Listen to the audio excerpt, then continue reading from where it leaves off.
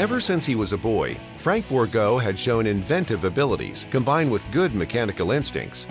As a young man, Frank built a gas-powered engine snow toboggan long before snowmobiles were developed. In 1969, Frank Bourgault was a 44-year-old farmer and partner in the Massey Ferguson Implement Dealership in St. Brieux, Saskatchewan. Frank had, both as a farmer and implement dealer, experienced the limitations of existing field cultivator designs. Through careful study and an investment of $1,300, Frank built and tested a 16-foot prototype in 1970 that would do the job of both a chisel plow and a cultivator. This new concept was on the leading edge of conservation tillage at the time, and its benefits were immediately recognized by local farmers. Demand for this innovative cultivator led Frank to establish a manufacturing facility outside of the dealership. On May 4, 1973, Frank, his business partner Don Coquet, and Frank's eldest son Jerry, a student at the College of Engineering in Saskatoon, incorporated FP Bourgault Industries Limited. Frank later recruited an additional partner, Paul Array, a local area farmer who also had experience as both an implement dealer and working for an equipment manufacturer. The young company built and tooled a 4,800 square foot facility on the edge of the village of St. Brieux and began production of the dual-purpose cultivator December 1974 with 10 production employees.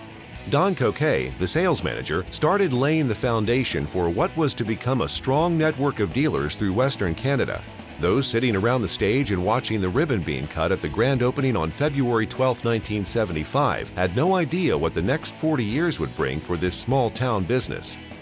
In the spring of 1975, 65 new Bourgault dual-purpose cultivators hit the fields.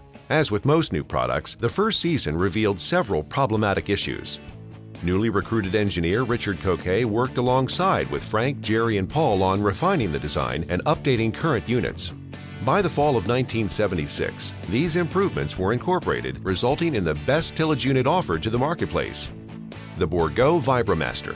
The demand for this durable dual-purpose cultivator allowed the company to expand, so that by 1979, FP Bourgault Industries had produced a total of 1,000 units.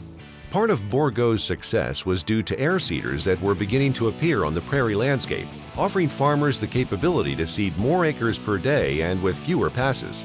Farmers adopting this new technology typically preferred Bourgault multi-purpose cultivators as the seeding implement. Seeing an opportunity, Bourgault decided to develop and market its own air seeder. Research and development began with Frank Bourgault acquiring the rights to the Bichard seeding system from a local Saskatchewan inventor, Jerome Bichard.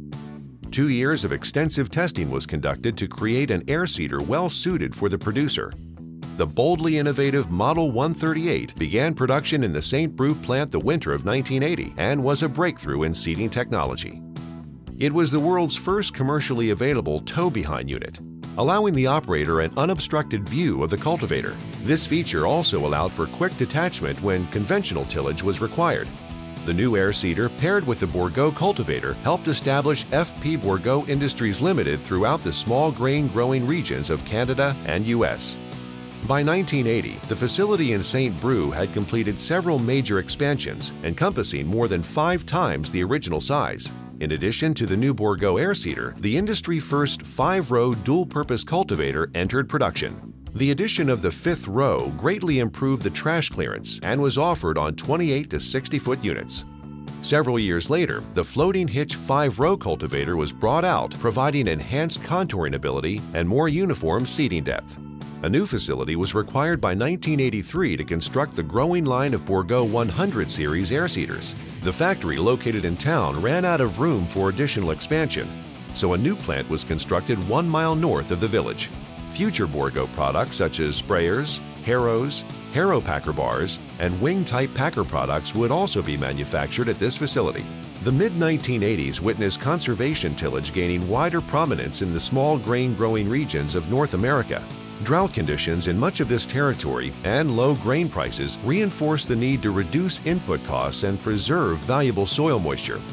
Bourgault's floating hitch cultivators along with mounted packer products and the tow-behind wing-type packer gave the farmer new tools to achieve good results in dry conditions in a one-pass seeding operation. The decade closed with the release of the 2000 series air seeders, offering ever-increasing product volume and application flexibility for added efficiency. The expiration of glyphosate patents through the 1990s triggered some of the greatest changes ever witnessed in farming practices.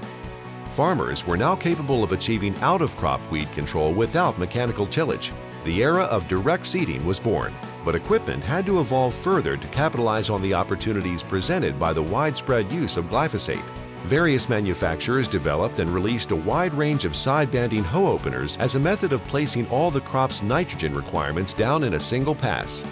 Bourgault began developing its own side-banding hoe opener but could not achieve sufficient or consistent seedbed quality or fertilizer separation that was vitally important to crop safety.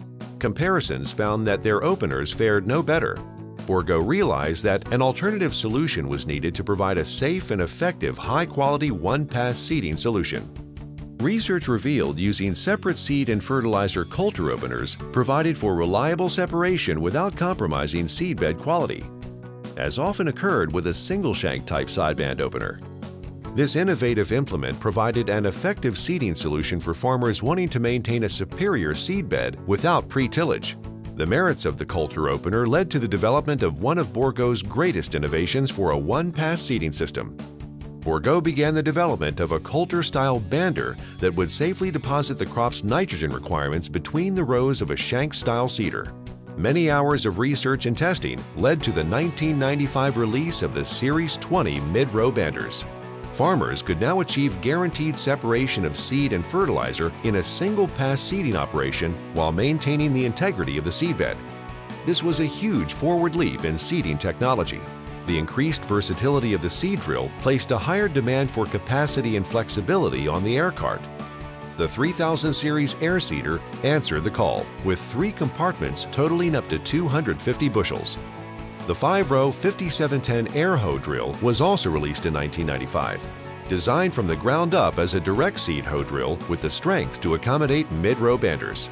The popularity of these new products initiated a number of changes for Bourgault.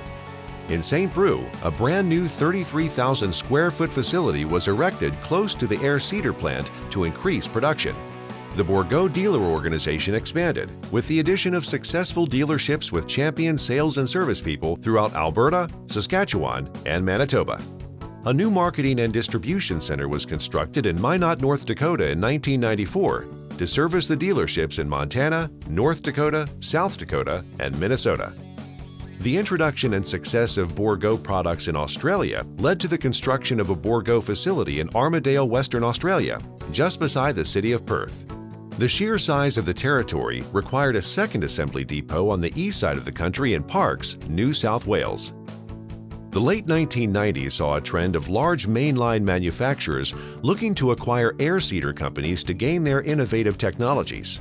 It was during this time, while in discussions with two mainline manufacturers to explore mutually beneficial relationships, it became clear Bourgault's vision of continuing to design and manufacture equipment for innovative farmers was not compatible with the philosophies of these companies. Independence proved to be a very sound decision, allowing Bourgault to stay nimble and respond quickly to the changing needs of farmers. Bourgault managed its own growth, investing in automation through the addition of robotic welding, CNC machining, and laser plate cutting equipment. Product development, manufacture, and support of the product lines require high quality and professional staff comprehensive on-site employee training programs were initiated to meet the growing demands with existing and new team members. Many of the employees of the company were farmers themselves, familiar with hard work and dedication. Marketing staff worked diligently talking to dealers, attending shows, and meeting with farmers to maintain a close tie with the farming industry. Designers worked closely with marketing and production staff to ensure each design worked well and stood up to the most rigorous conditions production and quality bonuses as well as a profit-sharing program were instituted to share the company's success with each person, fostering a sense of ownership in the enterprise. New products continued to roll out. 1996 was the year that the versatile 8810 cultivator was released, a design that was available on 8 and 10 inch spacing with the strength to accommodate mid-row banders. With the ability to be configured from a strictly tillage to full direct seeding system, no other product offered farmers the same range of operation. The release of the Model 5440 air seeder in 1999 introduced farmers to the largest and most flexible seeding system of its time. This and subsequent models helped establish Bourgault as the premier commodity cart in the agricultural industry. Bourgault entered the precision seeding market with the offering of the Zinx seeder controller, enabling farmers to take advantage of GPS technology for field mapping and variable rate application. On October 27, 2001, the Saskatchewan Chamber of Commerce inducted Bourgault Industries Limited into the Saskatchewan Business Hall of Fame. The Business Hall of Fame was established to recognize cornerstone businesses that have demonstrated excellence and contributed to the economic well-being of the people of the province over an extended period of time. Bourgault Industries Limited had grown from servicing a small local market into a global agricultural implement leader while continuing to offer team members excellent career opportunities. Bourgault invests extensively in personal development and work training with the goal of making employment at Bourgault a rewarding and fulfilling experience. Bourgault's dedication to meeting customer needs and producing effective designs resulted in new product releases again in 2004. Bourgault updated the air seeder line with the Model 6550 air seeder, another monumental step in size, versatility, and performance. With four separate compartments and up to four metering systems, producers could quickly switch seeding configurations saving time and money. Additional models were soon added, providing a range from 200 to 700 bushels. The success of Bourgault products is not surprising. No other manufacturer makes more of an effort to conduct research on the effects of nutrient placement in relation to crop germination and emergence. Since 2005, Bourgault has seeded thousands of plots, managed by staff agronomists and verified by independent parties to both test and verify its own seeding recommendations and also to understand the merits or pitfalls of practices promoted by its competitors. Bourgault is truly committed to designing innovative seeding equipment based on sound agronomic practices. Bourgault Industries Limited has developed strong markets in Eastern Europe with distribution of equipment primarily in Russia, Ukraine, and Kazakhstan. Countless hours of marketing, service, and product development resulted in a strong network of dealerships through the Eastern European region. A sales and support services office was opened in Kiev, Ukraine to provide a base of operations for Eastern European sales and service staff. Because of the solid performance of the equipment and dedicated support of its staff, Bourgault has become one of Eastern Europe's major suppliers for seeding equipment. In 2008, Bourgault was the number one supplier of air seeders to Russia, topping mainline suppliers as well as local manufacturers. May 23, 2006, Bourgault announced the acquisition of Highline Manufacturing of Vonda, Saskatchewan. Highline had developed an excellent reputation, its core products being rock pickers and bale processors. Since 2006, Highline has included a line of mower designs as well as select products for Bourgault. A significant setback occurred July of 2007 when a major fire severely damaged the plant. However, Highline was repaired and rebuilt, making major improvements along the way, including a 12,000 square foot expansion. One of Bourgault's key contributions to the agricultural industry was released in spring 2007, the 3310 Paralink hoe drill. Thousands of hours of research, design, and testing was invested into the development of the Bourgault 3310 PhD, ensuring that owners receive the greatest flexibility for performance over the widest range of conditions for any independent depth seeding system on the market. Farmers found that they could rely on the 3310 for trouble-free operation, low operating costs, and unmatched seed placement, leading to outstanding emergence. Bourgault's facility in Minot, North Dakota began a new phase of operation in the fall of 2008. In addition to providing sales and service support for Bourgault products sold in the U.S., this facility began the manufacturing of PhD and MRB opener assemblies and the final assembly of seed drills. Not only did this increase the overall manufacturing capacity for Bourgault, the North Dakota facility offered a second distribution point to markets in the U.S. and southern regions of the prairie provinces for assembled air drills. Bourgault continued to make major investments in its main manufacturing location as well. A 36,000 square foot expansion in St. Brieux, Saskatchewan was carried out in 2008 to help Bourgault increase production capacity. In addition to increased production area and equipment upgrades, better product throughput was achieved by implementing lean manufacturing principles workflow. These improvements also created the opportunity for employees to develop new skills and obtain higher paying positions.